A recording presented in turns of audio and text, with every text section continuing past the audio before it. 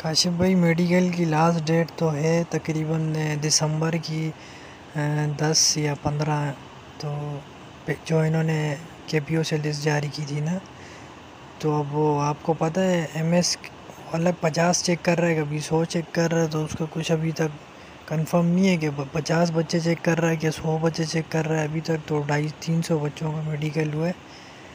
तो लड़के बता रहे थे कि पचास पचास चेक कर रहे हैं। तो फिर तो काशिफ भाई, ये तो जाए चली, कहानी बहुत लंबी चली जाएगी। कम से कम जनवरी, फरवरी तक ये मेडिकल ही होते रहेंगे हमारे।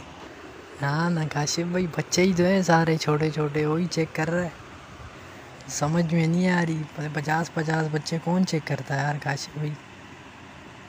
पचास पचास में तो चार महीने लगा देगा ये, बच्चे ही चेक करता रहेगा चार महीने।